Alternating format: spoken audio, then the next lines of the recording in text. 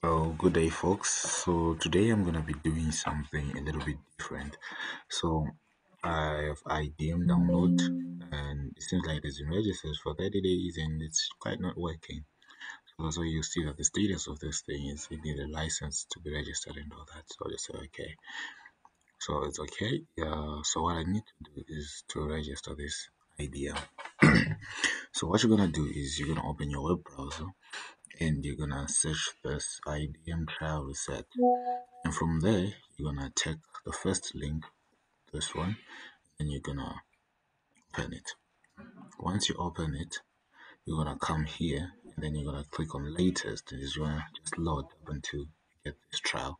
So you click here for you to download this thing.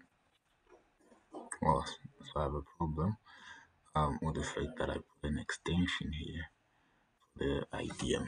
So I'll just say extension is gonna say um, manage extension.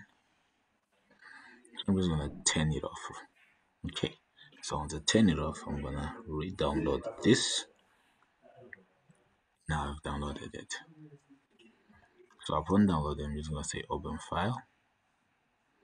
And I'm just gonna make sure that I extract this. So what I'm gonna do is I'm gonna go to my downloads and go to my downloads and I'm gonna extract this thing.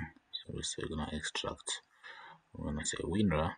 I'll just extract that thing. So once it is extracted, it's in here. I'm gonna come and click this link here. Right, so you come here where it's written register or trial test. You can register, then you say register IDM now. Type your name here. I'm gonna say that's my name. And you're gonna say okay.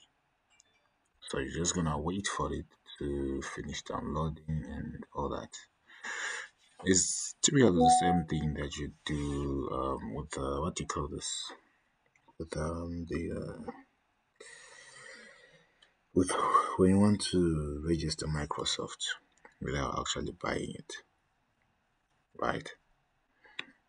So we're gonna wait for this process to finish, and that'll be it. Once it's done, you are free to go. So IDM is now registered. So you're gonna click on OK, and you're gonna close this. So after this, you know that your IDM is now safe. After you see now, so the IDM is back online. So please, gentlemen, be sure to like, share, and subscribe.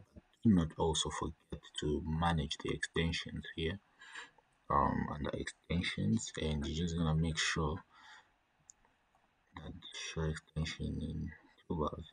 Also, here manage extensions, and you're just gonna come and turn on this extension. Once you turn this on, next time when you want to download something, this extension will work for you. Thank you so very much. Be sure to like, share, and subscribe.